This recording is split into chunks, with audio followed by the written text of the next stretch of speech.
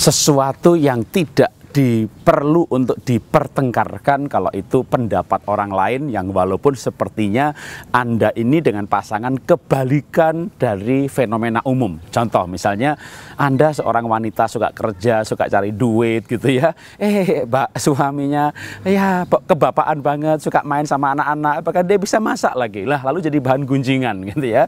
Jadi bahan gunjingan, bahan gunjingan Anda nggak tahan, anak-anaknya Anda mencoba untuk berubah dan itu susah. Lalu ada bertengkar terus mengenai hal itu, soal peran ini. Nah, ini sebenarnya hal yang tidak perlu. Saling mencintai, saling memahami peran yang unik dan berbeda ini, tapi Anda mengerti jangan hiraukan apa kata orang lain. Kalau Anda hiraukan, maka Anda sendiri akan terpicu untuk menjadikan pertengkaran dan memicu masalah-masalah berikutnya.